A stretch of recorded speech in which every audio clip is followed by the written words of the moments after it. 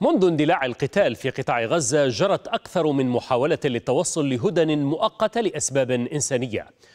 وكتب لواحدة فقط من بين هذه المحاولات النجاح بينما فشلت الغالبية في تحقيق هدفها.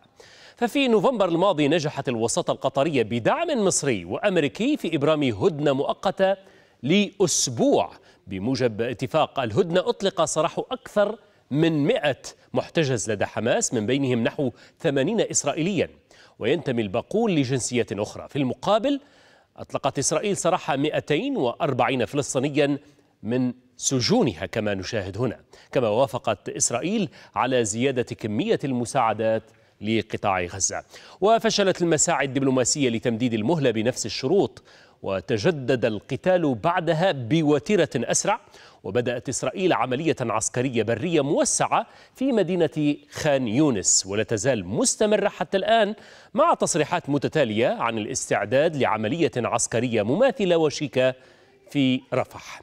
ومنذ أسابيع تسارعت المحاولات للتوصل إلى هدنة أطول.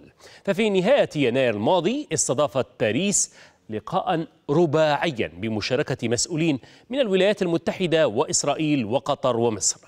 بحث المجتمعون هدنة طويلة الأجل يتم خلالها وقف إطلاق النار لمدة شهرين.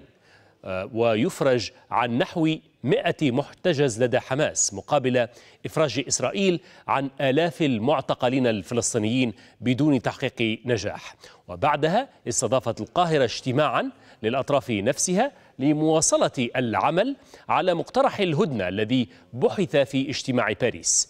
وبحسب مصادر مصرية مطلعة أدخلت حماس تعديلات طفيفة على مطالبها لكن لم يحدث تقدم في المفاوضات.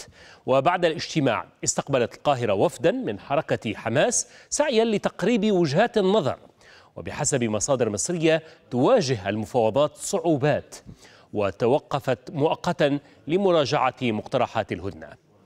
الآن تتسارع مساعي إبرام هدنة قبل حلول شهر رمضان وسط مخاوف من إقدام إسرائيل على تنفيذ عملية عسكرية في رفح يمكن أن تؤدي لمقتل الألاف من المدنيين.